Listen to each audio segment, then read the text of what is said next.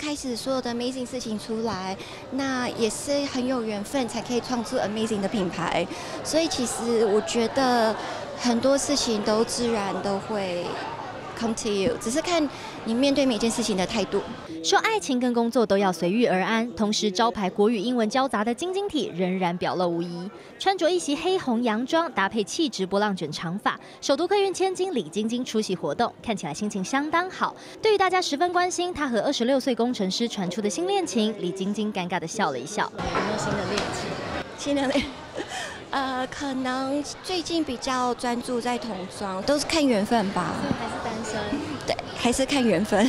腼腆回答自己还单身，但三十七岁保养如少女一般的李晶晶，行情依然不减。和十年交情的闺蜜萧亚轩及二十六岁工程师张淑渊出去聚餐，但走着走着就变成两人世界。影片中的清秀小鲜肉张淑渊，据了解，父亲是内科主任，读完中学就赴美读书，目前在外商公司上班。李晶晶会认识张淑渊，还是因为萧亚轩的前男友陈化所介绍。